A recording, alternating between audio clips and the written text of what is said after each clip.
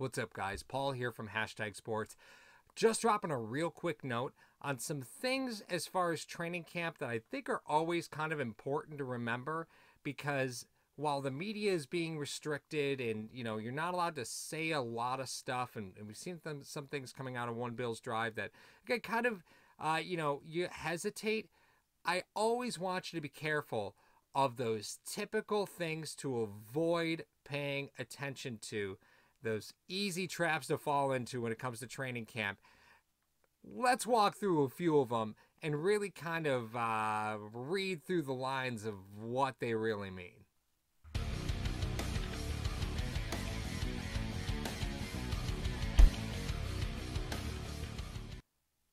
I want to take us back to a few seasons ago when we heard Cam Lewis was lighting up training camp and everybody got excited. A real tall player. Uh, you know, the Bills were struggling for height at the wide receiver group at that time.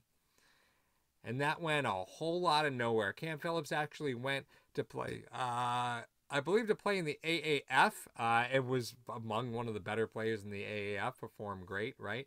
But from an NFL career, eh, then nothing really happened.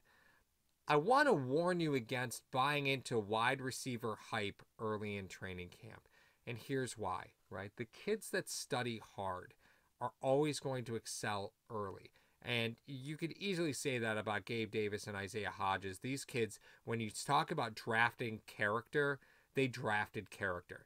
Not only that, but catching the football becomes second nature to them, right? And and they are they are football players. So, really reading and understanding the route concepts, that's the hard part for them when moving up from the college level to the professional level.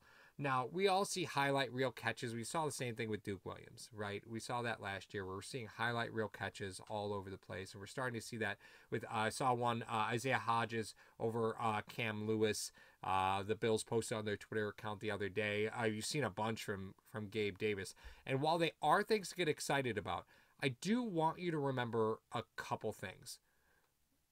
One is we are still looking at very, very simple designs that they're asking these guys to run right now. These things evolve over the course of the season. That's where a lot of times where a lot of rookie receivers get left in the dust. They may start out really hot in the beginning of training camp while they're working concepts that are simple and similar to what they might have run in college. But as that progresses, you're going to see a lot of rookies kind of fall out of favor there and the veterans start to step up because now you're starting to get into things that the veterans are a bit more comfortable with whereas the rookies have never done before things like you know route read routes um, you know there, there's a lot of things that they're asked to do at an nfl level that they never had to in college so while i want you to be excited about gabe davis specifically and believe me there's a lot to be excited about huge fan of gabriel davis huge fan um, I want you to watch out for the Cam Phillips Duke Williams effect, right? And we saw Duke Williams against Houston, and I will be very honest with you. Going back and watching that game, it was very clear Houston's defensive matchup was just let Duke Williams try and catch the football. Just we're going to take everything else away. Let Duke Williams beat us, right? And Gabriel Davis and Duke Williams, now that's an interesting conversation. If you've seen the episode that released the other day talking about practice squad eligibility and how the Bills can manage their roster, Duke Williams might be a player that sticks around for a while. Uh, Gabe Davis, I think, has. Uh, first off, I think he was a steal. So let me just say that. Um, but I think he's probably likely going to make this roster. Even as deep as they are at wide receiver, you kind of think he's going to make the roster uh, because I, I really don't know if he would be able to clear waivers to make it to a practice squad. Uh, and that's sort of the product of, you know, a solid player who the Bills are promoting doing well and the media, and this is where I kind of get this, right? The media doesn't have a lot to report on right now. They're not allowed to talk about formations or personnel groupings, uh, which is what got Chris Brown in trouble. Chris Brown was talking about personnel groupings, and, and that's a big no no. And some of you may not know this, but when, uh, as a media member, and I was lucky enough to get on the sidelines because of our friends Ryan Lasel, Ike, Icy Vic over at Rock Sports Network, I got to do that with, uh, with Drew Gear, Mario. Um, you know, it was a really, really um, awesome experience to be able to be on the sidelines and talk to some of these players during the course of uh, of training camp. But what happens is something very different than you want, than what you might think. not only can you not talk about personnel groupings because that's a big lockdown, there's parts of practice that you're not allowed to film, right? Um, you're not allowed to take pictures in because they're specific, they're team specific. They're not drills, they're not warm ups, they're they're they're things that they want hidden from the rest of the league as much as possible, right? And this season is very different because there's no fans at training camp. So now they have the opportunity to really lock down everything that's going out in the media. And unfortunately, Chris Brown said some things that got himself in trouble because the Bills do not want anybody knowing what they're doing. And if you want proof of that, just go ahead and look at their Twitter feed, right? What are we seeing? We're seeing highlight catches of Gabriel Davis. We saw a highlight catch of Isaiah Hodgins. We saw uh, a screen pass to Devin Singletary, no surprise there. Uh, we saw a uh, a rollout right, beautiful rollout right pass by by Josh Allen, a rollout left pass to Josh Allen to John Brown, right? And uh, I'm pretty sure that's that's about the stretch of it. Oh, a bunch of dancing. The guys are dancing a lot on their Twitter feed, but they're not giving you anything that you wouldn't already expect, right? Uh, Tyler Matakevich was uh, mic'd up. That was a bit of a surprise. But again, he's a player that I think they really do look at Tyler Matakevich as locking in that Lorenzo Alexander special teams role. So they're not giving anything out on their social media accounts that uh, is any news, right? Talking about how good the rookies are doing. That's not telling any team anything. It's not. It's not telling them anything. Um, so the way that the Bills are handling not only their social media accounts, but the the opportunity they have to lock down their practices so that nobody could see them and the media is kind of frozen out from being able to talk about a lot of things, kind of leads you into a lot of these analogies, right? Like, oh, Josh Allen is really throwing guys open. You know, um, oh, you know, uh, Allen looked sharp connected on 16 of 20 passes. Okay, what kind of pass rusher was he going against? Right? Was he going against a legitimate pass rush, or were we talking about this was seven on seven? Right? What? How? How legitimate are we really looking at when we talk about these analogies that we're seeing out of the media? Because again, they can't tell us anything. You know, they don't want to get their access revoked.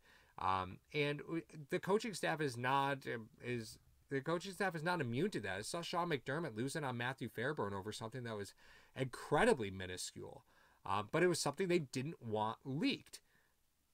And that's kind of what happens, right? A lot of times players build relationships with reporters, and that's how information kind of leaks out. Now, the reason you're not seeing a lot of those reports these players can't get to the reporters. The reporters can't get to the players to kind of farm out a lot of that information. The reporters really do leverage a lot of relationship building to try and get information out of players. And this year, they're not allowed to really even get close enough to them to get that level of information. I just want to use a great example. And it was right before the season. Trey White went on one Bills drive and took questions from the media. And it was prior to opt out date and he said, "I'm not sure if I want to I want to play," which was not these comments were not unlike Micah Hyde, right? Where he said, "Listen, I, I don't know if I want to play. If I have to be removed from my family the whole year, I don't think I want to do that. But at the same token, I don't know if I can risk my family playing if if some if I'm going to get sick playing this game, I'm going to get my family sick. I don't know if I want to do that." Well, holy hell, did the media circus just explode when those two players said, I'm thinking about not playing. And the reason it exploded was because if you asked almost any of those players, a lot of the veterans probably would have had a similar stance saying, listen, I just don't know. I have to make sure that, you know, are we are we going to be in a bubble? Are we not going to be a bubble? Am I going to be able to see my family during quarantine? Am I not? And they didn't have the answers at the time. So any veteran player would have responded that way. But because these reporters are so locked off from their typical interactions with the players, literally any scrap of information that they can hold on to is really going to get blown out of proportion, right? So I want you to just keep focused on what we know, right? We know Josh Allen's the quarterback of this team. We know Devin Singletary's RB1. We know that Diggs Brown and Beasley are your RBs one, two, and three. We know your offensive line, minus Feliciano's injury. There's still a little bit of debate as far as who's going to take that guard spot, right? That's a story, is who's got that guard spot. Everything else on the offense is kind of set and locked in, and the defense is really no different, right? So don't buy into the Josh Allen is struggling. Josh Allen should be struggling. He's going against one of the best defenses in the NFL. He should be struggling. But also remember that the offensive concepts that they're running right now are, are almost remedial at this point. They're not running their in season game plans. So it's going to be a lot of man coverage, which the wide receivers can beat man coverage. That's kind of the idea. Wide receivers in zone coverage, young wide receivers get eaten up by zone because they don't know how to read it right? So that's why early in practices and in the early practices, you'll see those young wide receivers do really well because it's a lot of man coverage while they're working on their reads in the defense and while the offense is walking through. But as soon as we start seeing more zone concepts, more pass off concepts, more read routes from the wide receivers, and as that responsibility excels, you're going to see those wide receivers become less and less of a story unless they make highlight reel catches. And Gabe Davis seems to be uh, you know, seems to be somebody who can do that for you. And Duke Williams obviously did that all last season, right? But go back and watch those highlight reel catches, and what do you see? Man to man coverage, right? I'm telling you guys, there's a lot to be excited about the Buffalo Bills, and there's a lot to be excited about young players. Just don't buy into all the hype right now because for 2020, you're getting way less story than you did in 2019 because the reporters just don't have the access to the players. This is Paul from Hashtag. Have a good one.